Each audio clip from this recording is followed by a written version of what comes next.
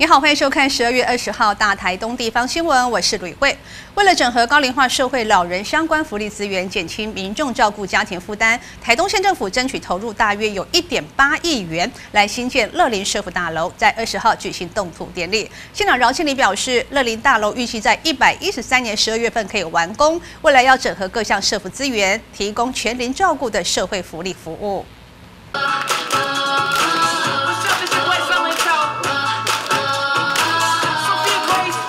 由社会处的志工带来精彩的开场演出，为今天的乐龄社福大楼动土仪式揭开序幕。台东县政府有鉴于县内的社福单位四处分散，为了整合高龄化社会老人相关福利的资源，并减轻县民照顾家庭的负担，台东县政府向中央争取了一亿元的经费，再加上县府的自筹款项，合计一亿八千多万元，要新建全新的乐龄社福大楼。并在二十日的下午举行动土仪式。请动土，第一场开工顺利。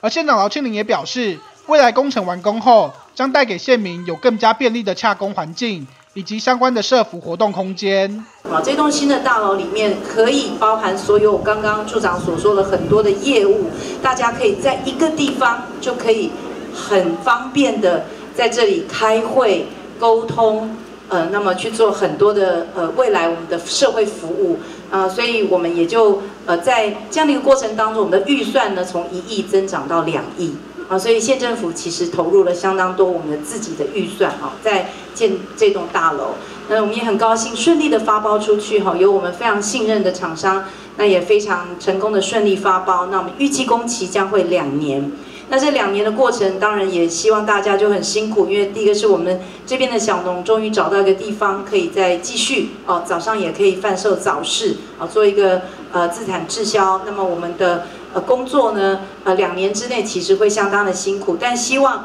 就是能够在落成之后，大家有一个新的大楼，大家可以在这边更多的业务联系，更多的工作在一起哈。台东县社会处也补充，未来的乐龄大楼将提供从健康到失能的长辈照顾服务，包含了日照中心、家庭照顾者喘息据点、长青学院、社区照顾关怀据点、老幼共餐厨房以及公共托婴等空间，并提供在地共餐、多元学习等专业服务。让整个场馆都变成是全零向可使用的空间。记者陈吉林台东市报道。